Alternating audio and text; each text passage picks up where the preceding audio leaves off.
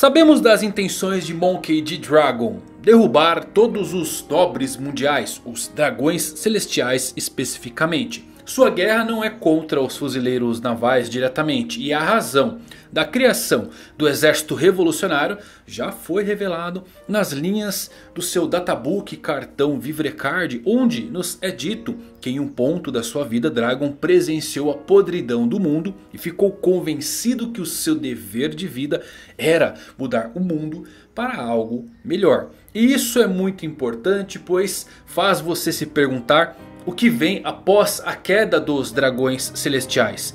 O que Dragon vai fazer? Vai se sentar no trono do centro do mundo e comandar todos os reinos como um verdadeiro ditador? Não, e a resposta está no seu nome, no D que ele carrega. Quer saber qual o real propósito de Dragon no mundo de One Piece como ele chegou nele? Então se liga que eu vou falar nisso agora.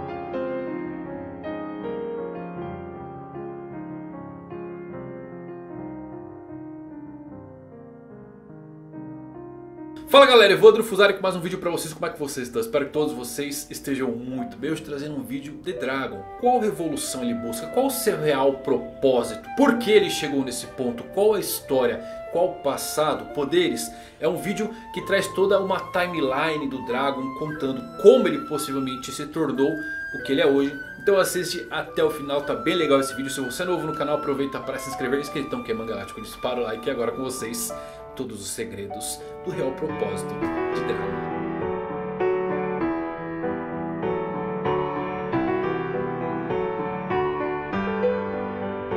Dragon, ao contrário do seu pai e filho, geralmente mantém um comportamento mais sério e às vezes um sorriso confiante em seu rosto. Dragon tem um forte senso de justiça e dever e assumiu a responsabilidade de derrubar o governo mundial que vê o próprio Dragon como a maior ameaça à sua existência. Eles chamam Dragon de o homem mais procurado do mundo e esse nível de ameaça que ele representa é apenas porque ele se opõe diretamente ao governo mundial. Não, ele tem que ser muito forte para que até mesmo o governo tenha medo dele. Dragon é um grande estrategista. Quando ele soube da chegada dos piratas do Barba Negra em Báltico, ele imediatamente formulou um plano. Ele esvazia todo o local e sai em vez de se engajar em lutas contra os piratas do Barba Negra, que ao invés de revolucionários teve um breve confronto contra Cypher Pool no local. Dragon se retirou porque a destruição de Báltico por Barba Negra enviaria uma mensagem ao governo que os revolucionários foram enfraquecidos enquanto eles realmente não foram quando o governo pensa que eles estão temporariamente livres da ameaça dos Revos e baixam a guarda é quando eles dão o primeiro tiro. Isto foi o que aconteceu na Reverie. Um fato que deve ser lembrado e a dica de importância grandiosa é o ano onde vimos os aliados samurais coletando armas para o ataque de Onigashima. Isso é um microponto do que veremos na grande guerra final.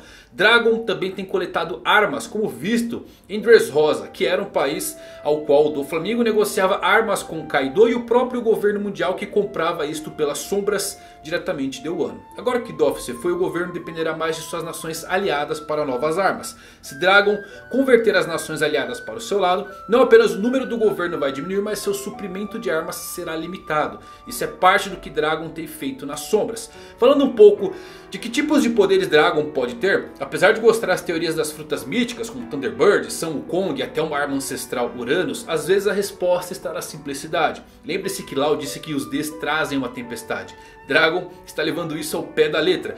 Quase sempre que vemos Dragon há uma rajada de vento, mau tempo, uma tempestade. Um Haki poderoso certamente ele possui, mas não é só ele que causa todas essas mudanças climáticas. Se eu tivesse que fazer uma grande aposta sobre qual o poder de Dragon, certamente que a origem dele é uma logia do vento. Pode ser claro sim um incrível nível de Haki que influencia o clima, mas uma dica que eu gosto bastante, além de toda a ventania que vemos com Dragon, é o nome do seu navio que chama Vientograma. Voltando um pouquinho no passado, 24 anos atrás, o rei dos piratas Gold Roger foi executado. E Dragon estava presente naquela execução. Qual era seu propósito ali? Nós não sabemos, mas ele não tinha sua tatuagem no rosto. E com toda certeza o exército revolucionário foi iniciado antes do nascimento de Luffy. Seu Vivrecard especifica que foi no período após a execução de Roger. A tatuagem pode ser o símbolo do início da sua jornada. E essa tatuagem parece muito com as tatuagens de guerra dos Shandians. Eu não me espantaria se a marca de Dragon acabar sendo a mesma marca que Nika, o Deus Sol, tinha no passado. Dragon pode ter se inspirado na história do salvador de escravos e gravou em seu rosto a representação que o seu exército buscava. A liberdade do mundo. Um ponto interessante é a Bíblia de Kuma que tem uma representação do que parece ser o próprio Nika do Deus Sol. Avançando um pouquinho para entender o real propósito dos Revos, Dragon estava presente em Logital no capítulo 100. Por quê? Eu acho que é um de dois motivos. Ele vem em busca de recursos e eles conseguiram esses recursos da Vila do Zoro no East Blue. Portanto não é exagero dizer que ele também poderia ter obtido recursos em Logital. E a segunda razão, claro, ele estava lá por Luffy. Ele de alguma forma soube que Luffy estaria em Logital e veio visitá-lo. E a melhor passagem aqui é o que ele diz ao ver Luffy, um pirata nada mal. Por que essa frase é importante? Porque ela diz sobre o grande plano por trás da existência dos piratas. A anarquia que eles levam após o século perdido. Não à toa ele surge aqui com a frase de Roger sobre as três coisas que não podem ser interrompidas. Por que ela surge com Dragon? Porque certamente ele escutou isso do próprio rei dos piratas. Roger de alguma forma foi o catalisador para Dragon iniciar sua busca por liberdade. Eu duvido muito que Dragon tenha sido um pirata em algum momento da sua vida antes dos revolucionários. O fato dele ver que Luffy virou um pirata, pareceu algo novo para ele. E isso é um dos bons pontos para revirar o passado de Dragon. Seu Vivrecard menciona que ele era um cidadão do reino de Go com um status não especificado. Dragon não era um nobre, conhecemos Garp. E com isso acaba sobrando apenas uma opção para o status não especificado de Dragon. Esse fato dele ter um status é uma evidência sutil de que ele pode ter sido um fuzileiro naval. E esta foi a razão pela qual ele foi capaz de ver as raízes da corrupção e a verdadeira face do governo mundial de perto. Não é sobre teorias baseadas no zodíaco chinês para achar um dragão ao lado dos animais dos almirantes. É sobre olhar narrativamente como faz sentido Dragon ter sido um marinheiro e mais ainda ele pode ter sido recrutado junto com Kizaru, Sakazuki e Aokiji. Eu não acho que Dragon tenha virado almirante pois na atual administração de Kong esse é um posto ocupado por marinheiros mais velhos e experientes. Dragon na execução de Roger tinha apenas 31 anos. Se ele tivesse o cargo eu apostaria em algo como vice-almirante. O que pode ser uma das dicas de por que Dragon abandonou a marinha. Os vice-almirantes são responsáveis por liderar o Buster Call. São eles que disparam as balas que apagam ilhas do mapa. Existem outras opções teóricas também para o que Dragon viu no governo mundial. Talvez algo ligado à mãe do Luffy, ela ou mesmo ele podem ter sido escravizados. Ou Dragon pode até ter testemunhado o incidente de God Valley onde tínhamos nobres mundiais e escravos presentes. Algo ruim aconteceu naquele lugar. E se lembre como Nico Sol vem pairando em cada momento que citamos os escravos do mundo de One Piece. Reforçando mais Dragon ter sido parte da marinha, temos Garp, que quando vê um jovem o leva para a marinha. Ele pode ter sido a pessoa que trouxe ao Kiji a marinha.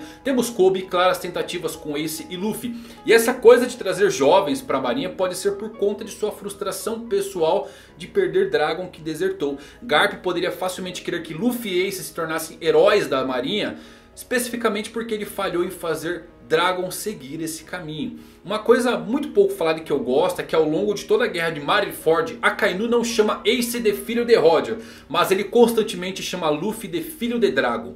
De tal forma que quase parecia que ele odiava Dragon em um nível pessoal. Ele queria matar Luffy não apenas porque ele era um pirata forte de 300 milhões, mas porque era filho de Dragon. A animosidade incomum de Akainu em relação a Luffy que nenhum outro fuzileiro naval mostrou durante Marineford implica algo mais profundo. Coincidentemente Dragon e Akainu têm a mesma idade. E sabe o que mais chama a atenção aqui? Akainu sabia que Luffy era filho de Dragon antes de Sengoku anunciar isso em Marineford. Poucas pessoas sabem muito sobre Dragon ou mesmo que sequer ele teve um filho especificamente. O que é surpreendente que Akainu já soubesse dessa informação. Garp sempre quis que seu neto se tornasse um fuzileiro naval como ele. Mas e seu filho? Tenho certeza de que Garp queria a mesma coisa para Dragon e acredito que ele quis isto por um curto período de tempo. E a maior bandeira sobre isso é claro seu status não revelado em Goa. Mas também que ainda no seu cartão Vivrecard é mencionado sobre um segredo em seu passado. E que mesmo que seus subordinados saibam sobre isso ainda decidiram seguir Dragon sem questionar. Esse segredo que parece mexer com seus homens mas que é ignorado só pode ser algo ligado ao governo mundial. Ou nobreza ou Cypher Pool ou Marinha. Então Akainu provavelmente tem algum problema com Dragon. Do jeito que ele odeia Luffy porque ele é filho de Dragon, eu acho que é uma história entre os dois. Não apenas Luffy era filho do homem mais procurado do mundo, mas ele realmente odiava Dragon e toda a sua linhagem. Com tudo isso em mente é possível entender o real propósito de Dragon. Eu não creio que ele queira se sentar no trono do centro do mundo. A dica é seu nome, ele carrega a vontade dos D. Qual é a revolução que ele busca? A verdade sobre o governo mundial. A vontade dos D é endireitar as coisas ou pelo menos revelar a verdade e deixar que o povo decida o que fazer. Porque eles ainda não fizeram isso, quem vai acreditar no maior inimigo do governo mundial? Eles estão tentando conscientizar as pessoas que o governo mundial que apoiam não é tão limpo quanto pensam. A revolução de Dragon é um fragmento de um todo, uma parte do One Piece. É preciso as armas ancestrais e o tesouro lendário para completar a vontade de Joy Boy. Dragon é o responsável responsável em mostrar ao mundo toda a verdade que seu filho vai reunir. Existem três coisas que não podem ser interrompidas. O sonho dos homens, que vive nos revolucionários. O fluxo do tempo com a profecia da volta de Joy Boy. E a vontade herdada presente em cada um dos D. Enquanto as pessoas continuarem buscando o sentido da liberdade. O propósito real de Dragon jamais deixará de existir.